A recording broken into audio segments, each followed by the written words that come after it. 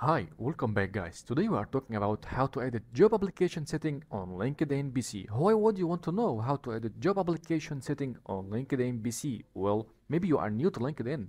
So today I am going to show you how to edit job application setting on LinkedIn BC. Check the video description and I will try to leave the written instructions. Okay, click on your profile picture, then setting and privacy. It will take you to a new tab like this. Okay, now click on data privacy here scroll down till you find job seeking preference. Okay click on job application setting. It will take you to a new tab again. Okay now you can save upload resume and answer to application questions you can always change your answer with each application. You can turn it on or off. If you turn it off it will lead the old answer. Now turn it on again if you want to.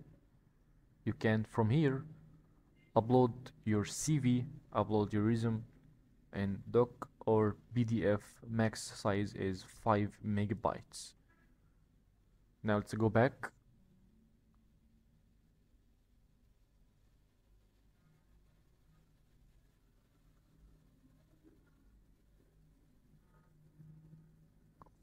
click on share your profile when you click ok share your profile with job posts then you click apply. Share profile with job poster okay? Turn it on.